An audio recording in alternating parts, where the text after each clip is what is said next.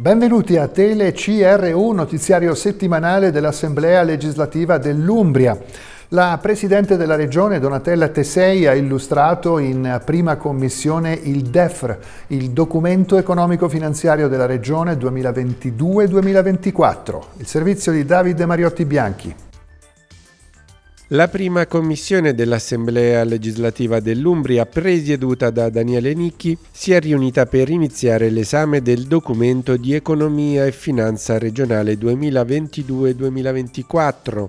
Illustrando il DEF ai commissari, la Presidente della Giunta regionale Donatella Tesei ha spiegato che si tratta di un documento di rilancio e di inversione di rotta rispetto al passato un documento snello ma molto solido e ben strutturato con una visione chiara dell'Umbria. Il bilancio continua ad essere in piena sicurezza ma occorre attingere alle risorse della programmazione comunitaria e saper intercettare quelle del PNRR per proseguire sulla via dello sviluppo. Per la Presidente Tesei il DEFR dimostra come l'Umbria abbia tenuto meglio del dato nazionale la crisi economica in termini di PIL, occupazione e mortalità delle imprese. Il 2021 per l'Umbria è stato l'anno del rimbalzo, l'obiettivo ora è trasformarlo in una inversione di tendenza duratura. Secondo i dati il 2022 sarà un ottimo anno e l'Umbria sarà tra le prime regioni a tornare ai livelli pre-Covid. Tra le linee di indirizzo del DEF, per la prima volta ampia parte è dedicata alle infrastrutture per la mobilità e la lotta all'isolamento. Tra gli obiettivi da centrare c'è la lotta ai quattro mali dell'Umbria, denatalità, la spinta centrifuga dei giovani, la scarsa partecipazione femminile al mondo del lavoro e la povertà. Secondo la Presidente Tesei, sulle 16 partecipate che devono diventare un volano di sviluppo, è stato fatto un grande lavoro con una spending review di 1,3 milioni di euro l'anno, un risparmio di 1,8 milioni per il personale, oltre a più di 550 mila euro di risparmi ulteriori previsti per il 2022. Per le risorse finanziarie, oltre a quelle del PNRR su cui si sta ancora discutendo, 150 milioni arriveranno dalla coda dell'attuale programmazione comunitaria, 813 dalla nuova programmazione, 286 dal PSR 2021-2022. Il PNRR per l'Umbria ha già portato a dei risultati.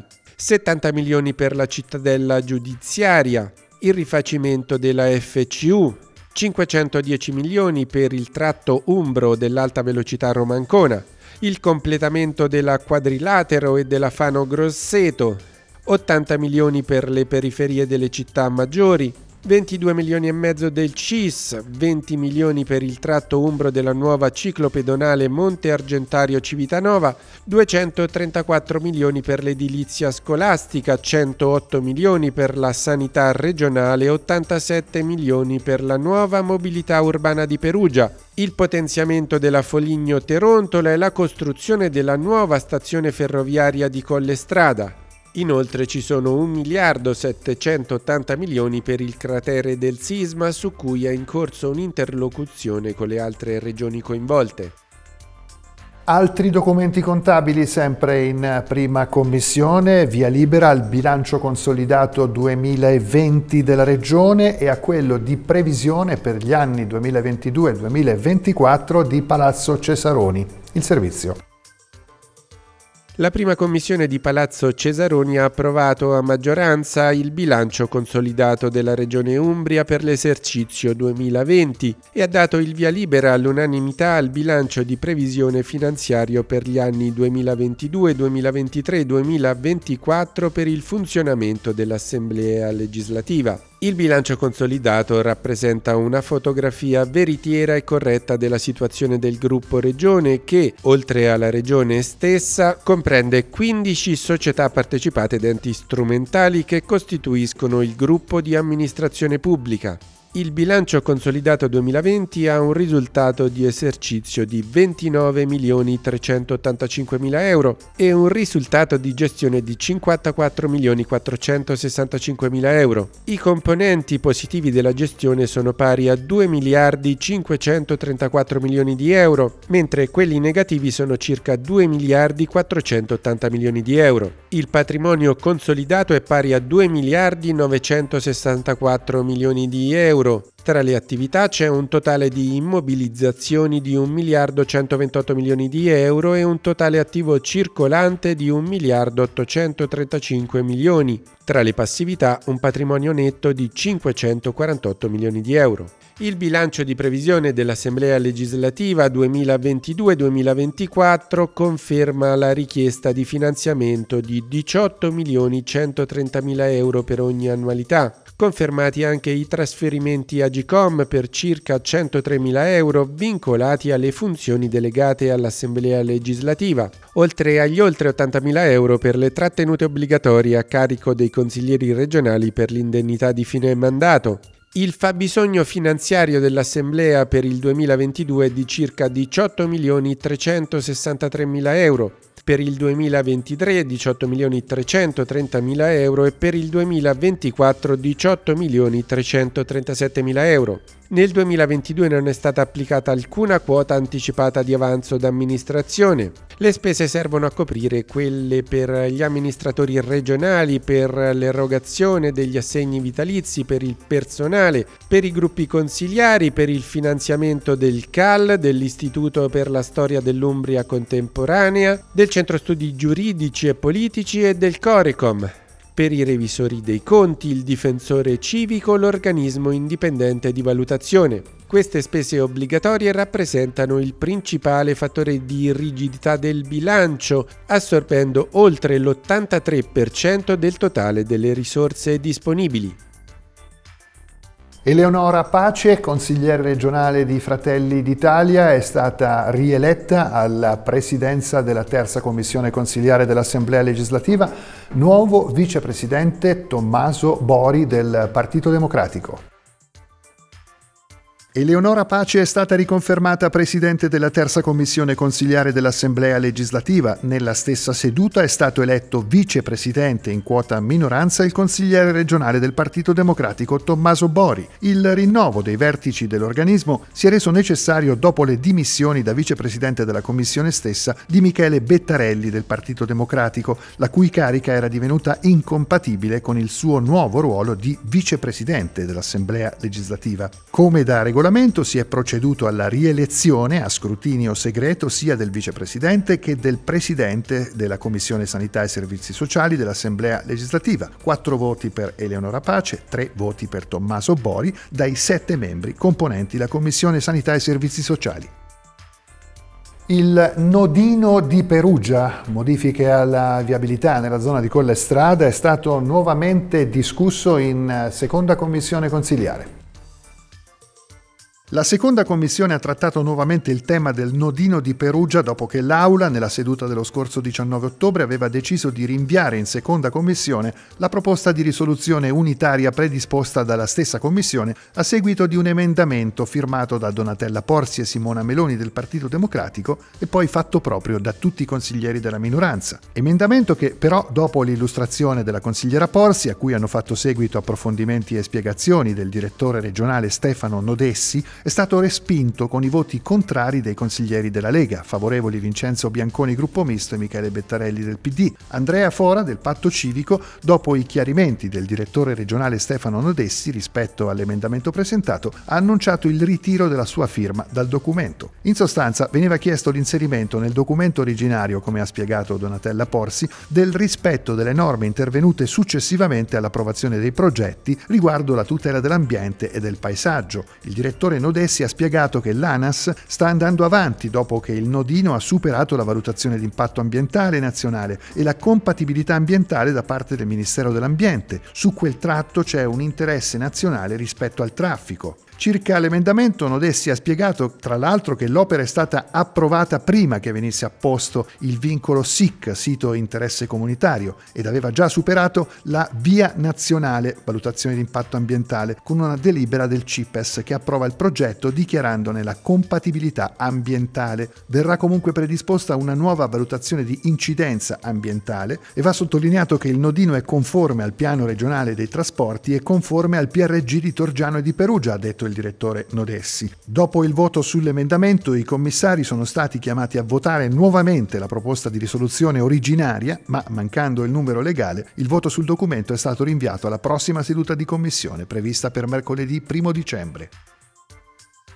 Il Comitato per il controllo di Palazzo Cesaroni ha ascoltato l'assessore regionale Michele Fioroni nell'ambito dell'attività di valutazione sulla attuazione degli atti di indirizzo. Il servizio di Marco Paganini. Il Comitato per il controllo e la valutazione dell'Assemblea legislativa ha dedicato una seduta alla verifica dell'attuazione delle mozioni, degli ordini del giorno e delle risoluzioni approvate dall'Aula, ascoltando in merito l'assessore regionale Michele Fioroni. L'attività ricognitiva ha riguardato alcune tematiche specifiche, l'area di crisi complessa Terni-Narni, gli impegni per la Treofan, le azioni contro il sovraindebitamento e quelle per la semplificazione amministrativa, la salvaguardia del comparto Monteluce, la Thyssen e l'AST, il sostegno alla ceramica Umbra e le iniziative legate al contrasto dell'emergenza Covid. L'assessore ha riferito ai commissari quali interventi sono stati posti in essere, descritto quelli in itinere e tratteggiato i risultati raggiunti attraverso le iniziative intraprese dalla Giunta regionale in attuazione delle indicazioni ricevute dall'Assemblea legislativa. Prosegue l'attività di verifica del Comitato per il controllo e la valutazione sull'attuazione da parte della Giunta regionale degli impegni contenuti in mozioni, ordini del giorno, risoluzioni votate dall'Assemblea legislativa. Stiamo purtroppo riscontrando quella che è una distanza fra quelle che sono le proposte, le valutazioni politiche e gli impegni eh, contenuti all'interno degli atti e quello che poi realmente viene concretizzato. Eh, è chiaro che serve un cambio di passo, uno sforzo diverso da parte dei eh, consiglieri regionali che devono inserire all'interno delle mozioni eh, impegni puntuali, circostanziati che siano quindi misurabili e anche valutabili nella loro reale attuazione.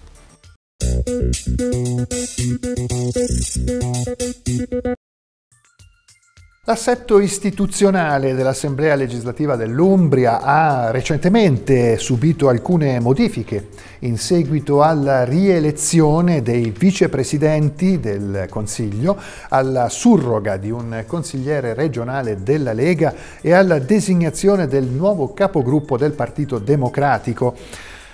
L'ufficio di presidenza risulta ora composto da Marco Squarta, Fratelli d'Italia, presidente, Paola Fioroni, Lega, vicepresidente e Michele Bettarelli, Partito Democratico, vicepresidente.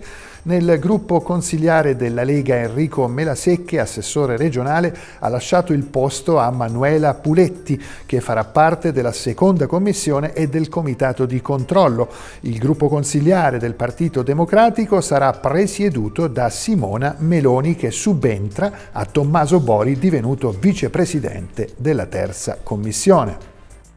Ambiente, infrastrutture, lavoro sono le direttive in cui la CHAI Speciali Terni deve muoversi attuando nuovi modelli di produzione sostenibile. Lo dichiara il consigliere regionale della Lega Daniele Carissimi, annunciando una mozione in cui si chiede l'impegno della Giunta a stimolare la ricerca e gli investimenti in nuove tecnologie per garantire un rapporto sinergico tra ricerca e industria nel settore dell'acciaio green sviluppare iniziative utili a incentivare infrastrutture materiali e immateriali finalizzate all'attrazione di talenti alla formazione di nuove figure professionali altamente specializzate, nonché valorizzazione delle professionalità già presenti all'interno di AST. Sostenere infine nei limiti delle proprie prerogative e funzioni la riconversione in chiave sostenibile di AST attraverso la promozione di iniziative che perseguano gli obiettivi di decarbonizzazione ed economia circolare. Infine, farsi parte attiva nella gestione delle potenziali situazioni di conflitto tra imprese, lavoratori e sindacati nella fase di trasferimento della proprietà dell'acciai speciali subordinata all'approvazione dell'antitrust. I consiglieri di opposizione invece giudicano ridicolo e fuori tempo massimo il tentativo del consigliere della Lega Carissimi di depositare una mozione sull'ast di Terni per riparare ai danni e alla figuraccia, dicono i consiglieri di opposizione, a cui abbiamo assistito durante l'assemblea legislativa del 16 novembre, quando è stata rinviata con un artifizio procedurale la mozione su ast della minoranza. L'uscita dall'aula di Fratelli d'Italia al momento del voto ha evidenziato, sottolineano i consiglieri di di minoranza una crisi irreversibile della maggioranza e soprattutto non ha prodotto alcun atto significativo, con una giunta regionale che rifugge dalle proprie responsabilità. Questo dichiarano i consiglieri Fabio Paparelli, primo firmatario dell'atto, Michele Bettarelli, Tommaso Bori, Simona Meloni, Donatella Porsi del PD, Thomas De Luca, Movimento 5 Stelle, Andrea Fora, Patto Civico e Vincenzo Bianconi, gruppo misto. Sull'argomento i consiglieri hanno depositato una nuova mozione.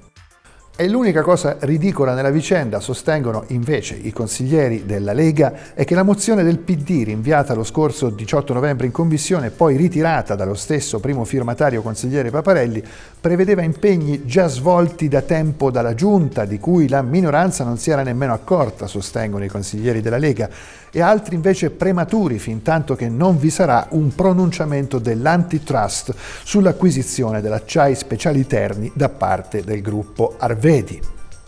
Infine, con una interrogazione alla giunta regionale, il consigliere del Partito Democratico Fabio Paparelli chiede all'esecutivo di chiarire se è al corrente della nuova organizzazione della struttura complessa ospedaliera di diabetologia, dietologia e nutrizione clinica dell'ospedale Santa Maria di Terni e quali atti formali legittimi ne sarebbero alla base. Nell'atto ispettivo Paparelli sostiene che quella struttura ospedaliera sta per perdere la propria autonomia e l'azienda ospedaliera di Terni verrebbe ulteriormente depauperata depauperata. Andrebbero perciò chiarite quali siano le motivazioni che hanno portato ad abolire di fatto due strutture complesse ospedaliere per ricondurre le funzioni sotto una struttura universitaria, pur in assenza di delibere o atti aziendali di indirizzo concordati con la Regione. Anche per questa edizione è tutto, vi ricordo Tele CRU va in onda sulle emittenti televisive di tutta la regione, è disponibile in rete sul sito istituzionale consiglio.regione.umbria.it e naturalmente su YouTube. Grazie per la vostra attenzione, arrivederci.